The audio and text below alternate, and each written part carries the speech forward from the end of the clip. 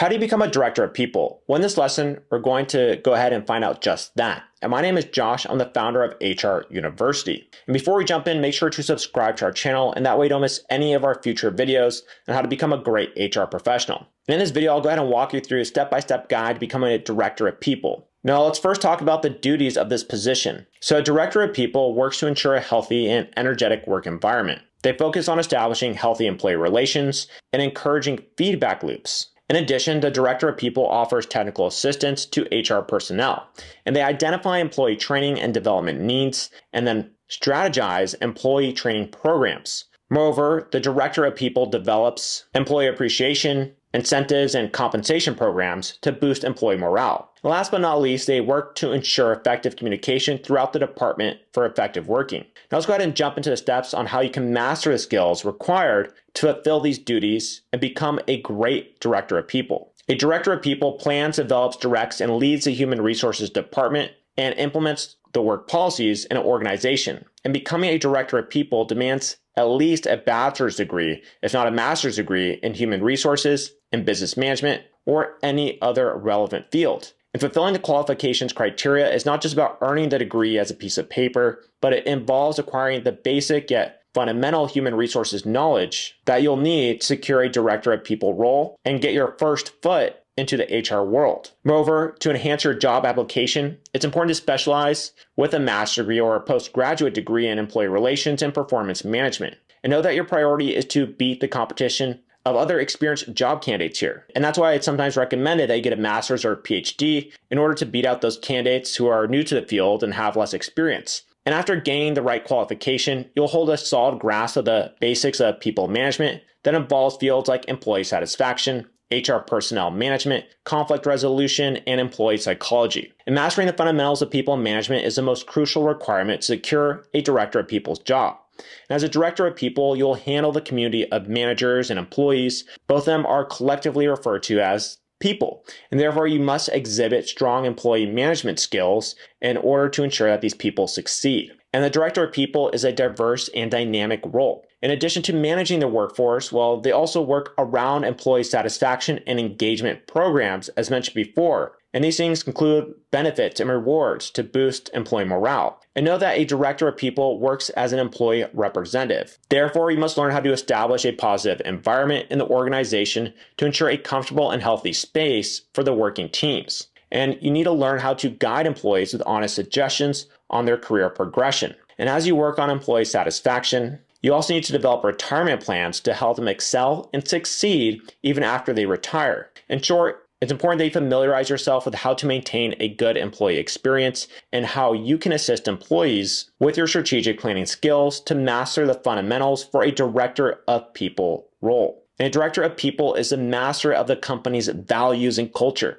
And to become one, it's important that you learn how to establish an ethical and varied and inclusive and diverse culture throughout the organization. In addition, you must learn to practice transparency among employees to establish a fair, equitable, and inclusive work environment. And one of your main learning focuses should be to establish good employee communication skills that help you maintain a friendly bond with the people of the organization and increase employee engagement. And on top of that, it's important you understand how to collect and provide feedback to and from employees to understand how they feel about the organization and the work that they do. And this requires excellent surveying, interviewing, and feedback skills. Mastering all these practices will help you enhance employee engagement as a director of people, which leads to maintaining a positive culture throughout the organization. And as a director of people, you are responsible for creating a workplace culture that fosters respect, equality, and inclusion. And to be successful in this role, you must understand and embrace diversity, equity, and inclusion as well. And mastering DEI provides the ability to identify and address biases and discrimination in an organization,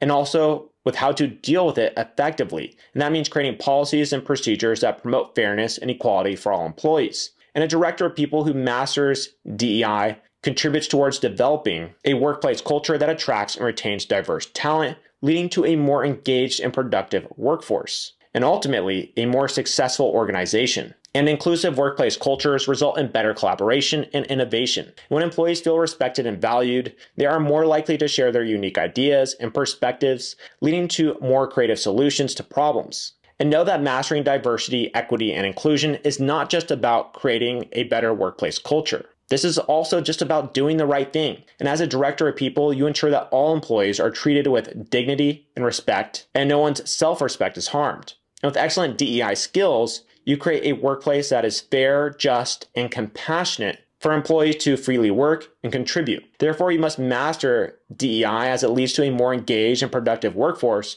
a more successful organization overall. And to become a successful director of people, you must also learn the tactics to increase employee morale and satisfaction. And the reason the enhancement of employee contribution towards the organization is necessary is that it helps you increase employee efficiency and productivity. In addition to that, it's important to understand how to recognize the employees for their talent, work, and achievements since a lack of recognition can lead to employee dissatisfaction that can result in things like high turnover rate. And as employee contribution directly affects the organization's productivity, a director of people must hold excellent skills to recognize and appreciate the right talent. In addition to that, it's important you learn how an award and recognition culture works to make employees feel appreciated, valued, and more engaged with their work in order to increase their contribution to the organization. And next, you must learn the five C's to understand how to contribute to employee and work relations. Know that practice is necessary to understand the core learnings.